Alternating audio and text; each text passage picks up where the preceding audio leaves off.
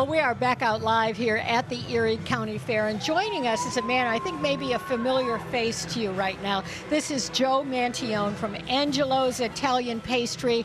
We make a point of talking to the folks from Angelo's every year. How is this year going for you, Joe? It's been great, Jackie. The weather's cooperated. Uh, beautiful, beautiful fair so far. You know, we said that, that, that weather makes a difference in how people are willing to spend their money and whether or not they want pastries such It as really you sell. does. It really does. The weather, like I said, has cooperated. There's a lot of free free entertainment here, so it's a really good year so far. Yeah. Now, your parents started Angelo's, right? Yeah, my parents started this about 50 years ago. 50 years Yeah. ago. So you know what you're doing. There's no question Yeah. about it.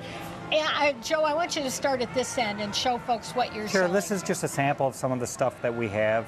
We've got a custard cannoli, chocolate cannoli, our cheese cannoli, that's our most popular item. best bestseller. yeah. bestseller. Okay. Uh, a few years ago, we started uh, cannoli cupcake. That's been pretty popular so far this year. A Napoleon with a layer of whipped cream and custard. An almond crescent. It's got almond paste throughout the middle of the whole thing. And a raspberry pretzel with a puff pastry with raspberry brushed to the side. I don't know what folks are serving for dessert at their house right now, but we are living large here at the Erie County Fair. Angelo's Pastry um, has been here for many years, and we were talking about some stands have had a hard time getting people to work for them, Mm-hmm. but you have not. No, we've been fortunate. We got a lot of family friends, family that have helped us out throughout the years, and you know, it's something we all look forward to Well, year. it's very familiar to me to see an Angelo's pastry stand, but you do not have a brick and mortar store. We do not. We've just always done the local fairs and festivals. So we saw you, for instance, at the Italian Festival. Yeah, Allentown Art Festival, Italian Festival.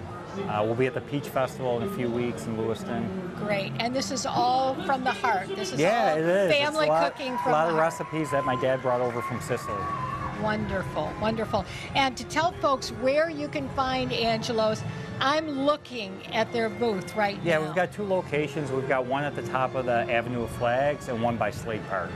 So if you find Channel 4, you will find Yes. Angelo's Italian Thank you. Pastry. Thank you so much, No, Joe. it's you. always a pleasure to Thank see you. If I don't, if it's okay, can I say hi to my kids? They gave me a hard time last Please time. do. Joey and Adriana. Hello. I don't blame them for Yeah, giving me a hard time last Take time. every opportunity right, and hello to them. Thank you so No, much, thank you. Joe. How about